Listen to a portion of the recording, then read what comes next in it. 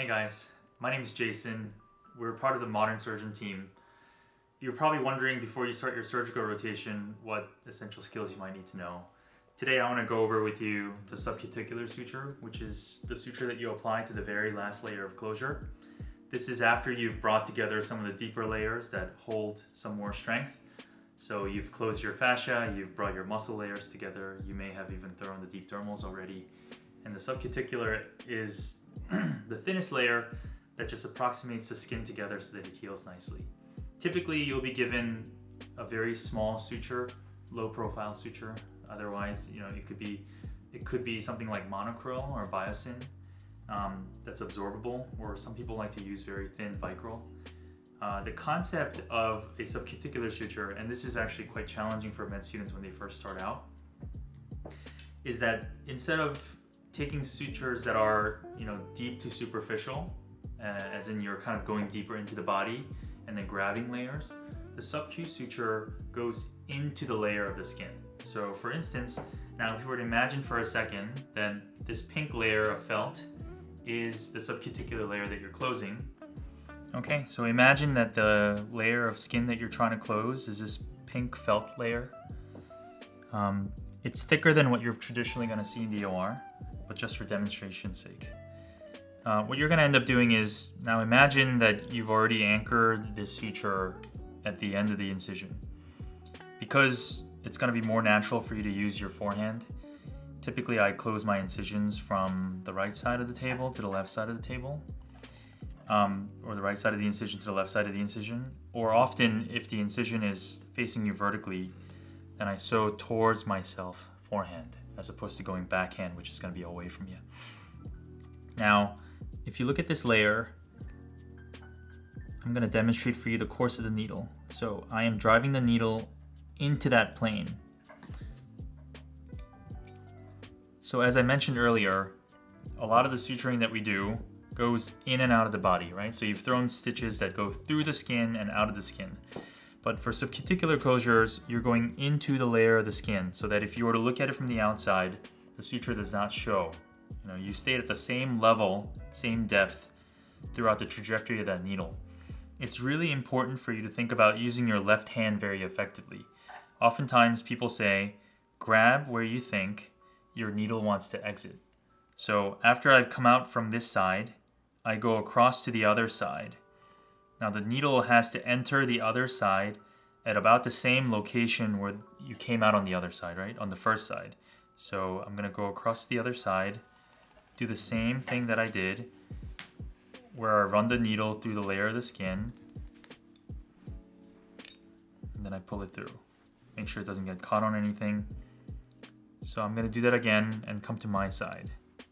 Again, I notice where I came off, or when I came out on the other side, come directly across, take a bite into the plane of the skin, make sure that it's not coming out through the skin. When the needle or the suture comes out through the skin, we call it buttonholing, and what it does is it pinches the tissue or exposes suture material outside the skin, which you don't want to do. So I'm going to take a couple bites just to demonstrate, you know, it's going back and forth. So again, far side.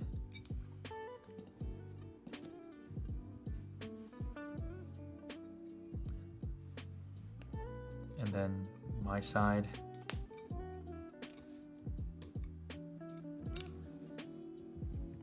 Far side.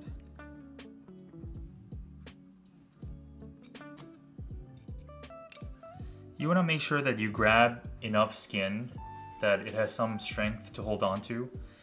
At the same time, you don't necessarily have to grab so much skin that it dimples excessively. So that means you're rotating your wrist and making sure that the curve of the needle catches enough of the skin so that there's some strength to your closure. Now, if you did a good job of going back and forth from the side that's close to you to the side that's far away from you, when you spread the tissue apart at the end of your closure, you're gonna see something like a ladder. And it makes sense why you're seeing a ladder, right?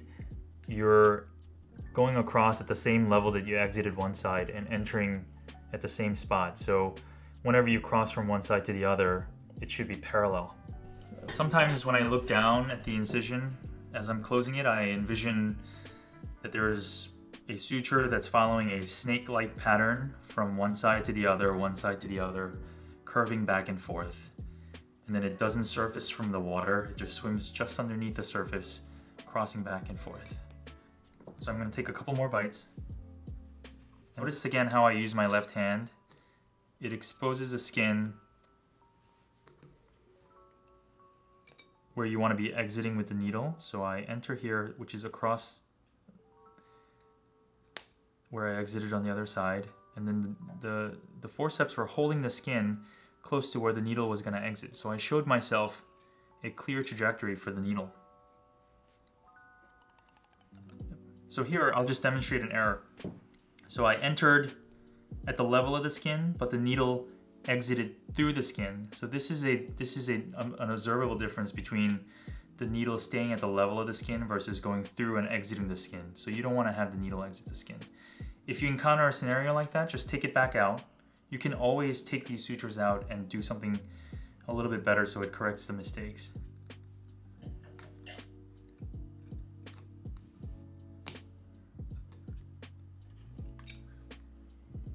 Okay, so by the time you get to the edge of the incision, you would tie a knot and then ultimately anchor the knot.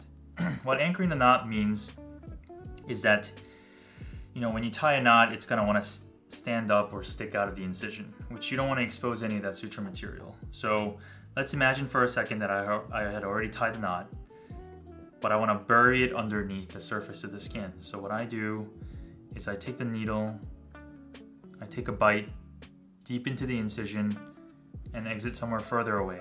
And notice what happens as I pull this suture out through an exit site in the skin. That loop of suture will pull into the incision because I took a needle and took a bite underneath the incision. So as I pull up on this,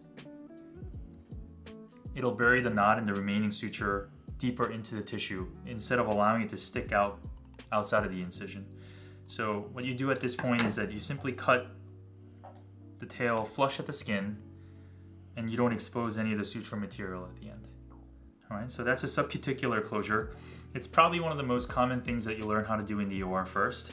And once you demonstrate proficiency with this, because it's actually technically very difficult to do a good skin closure, you, you know, which is ironic because you think that skin closure is something that should be technically very simple, but because for all the reasons that I mentioned, you have to stay at the layer of the skin and use a lot of different needle angles for you to be able to do it effectively. It actually is quite challenging. So once you can demonstrate your skill with this, I think you'll find that a lot of other stuff that follows during operations is actually quite straightforward.